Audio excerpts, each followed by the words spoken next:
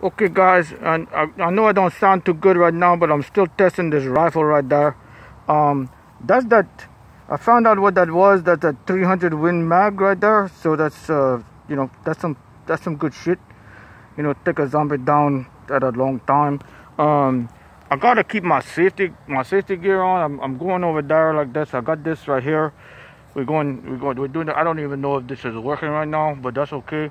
So anyway, we're going back and I'm gonna put that put one of them rounds up in that in up in that chamber right there. Okay if we go like that. Yeah we put that like that. Lock that down. Now I'm gonna back off over here. I got my safety gear on. I'm gonna put I don't think I need my flak jacket no more.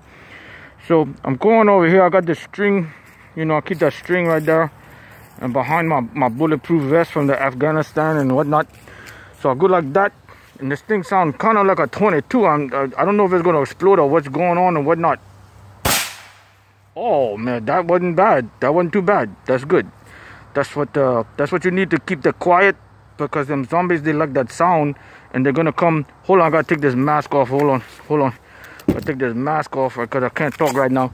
So anyway, that's gonna um that's gonna keep you safe if you if you in a if you in a hotel or a resort or something like that and all them zombies be coming over there then you get somebody on the roof and you put that sniper rifle on them so that way they don't they don't know where the sound's coming from and you could you could switch positions and do what you gotta do. So anyway that's 300 win mag right there.